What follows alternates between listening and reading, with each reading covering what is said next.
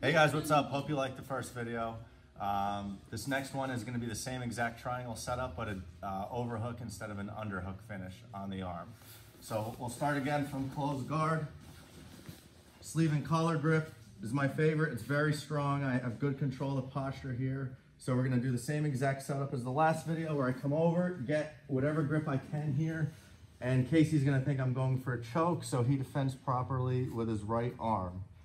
From here, I throw up the triangle, um, and that's okay that his arm is in because I'm not really going to choke him here. I'm looking for an arm attack. Um, from here, let's say Casey's really strong and he postures up. I'm gonna keep my grip on his shoulder, letting go with my right hand. This time I can't get the underhook because he's because he's postured up. It just doesn't make sense from here. Instead, I'm gonna grab his wrist here, push it to the ground, and get the overhook. From here, I could let go with my left hand, clasp my hands together, and pressure for the arm lock. From here, I'm right on the elbow. I don't want to be too high. I don't want to be too low. I'm right on the elbow, pressing in. One more time from closed guard, collar and sleeve grip.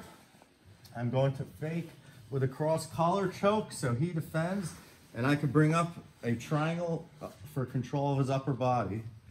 From here, Casey's really strong. He's able to posture up. I'm gonna keep this grip on his shoulder, but use my right hand to bring his hand to the ground. From here, I'm gonna get the overhook this time. And I'm gonna make sure my overhook is right on the back of his elbow. Once I get the overhook, I could grab my hands together and pressure in on his elbow for the submission. All right, guys. Hope you liked it. Let us know if you have any questions on Facebook, Instagram, or YouTube.